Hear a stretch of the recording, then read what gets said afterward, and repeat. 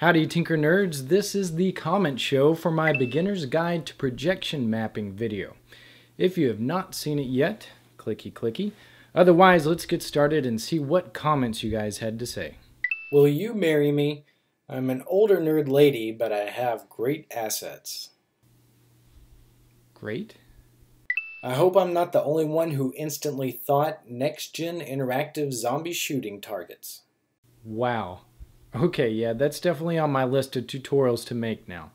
Once I figure out how to do it, of course. Is there a way to use live video? Say input video into your computer and then map that? The software does support webcam input, so if you can use your webcam as a video camera and project it onto your scene, then that should do what you're wanting.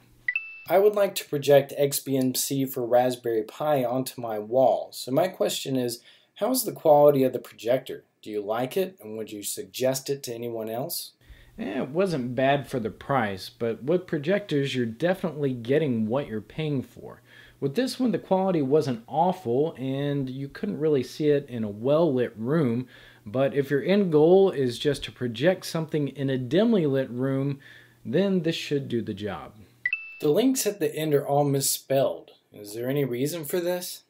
Great catch. So for those of you that weren't aware, for the past few weeks I've been building up to my 200,000 subscriber contest by intentionally leaving out letters at the end of my last three video tutorials. If you put together all the missing letters, it would end up spelling this. What do you do with this? Well, that's where the fun begins.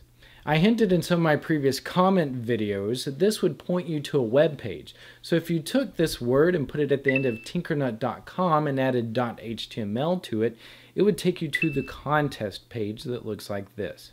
It stated that there would be three different puzzles to solve. The first one is hidden in this page.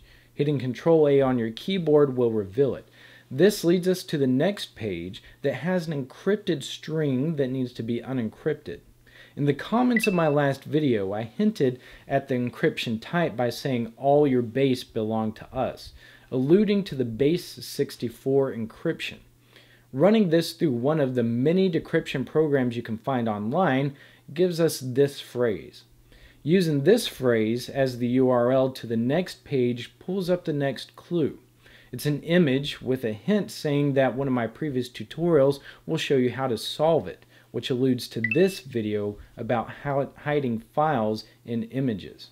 The video mentions this hide in picture program that can extract hidden files from images. Using this program along with the password we decrypted in the last puzzle, we can retrieve this text file pointing to our next web page.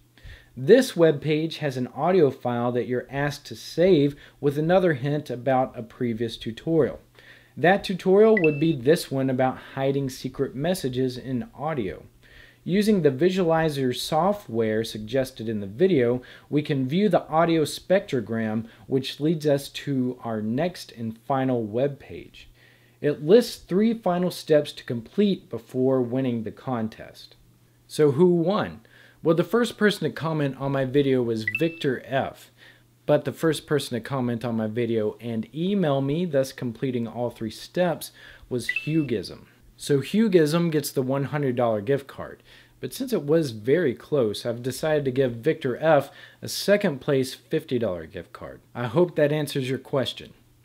Alright guys, thank you very much for the comments, and as a reminder, there may not be a tutorial for a couple weeks because I will be performing maintenance on my website. However, I promise that when the video tutorials return, they are going to be awesome.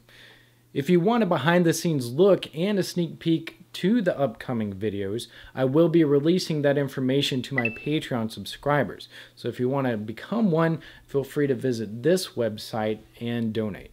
All right, I will see you guys next time.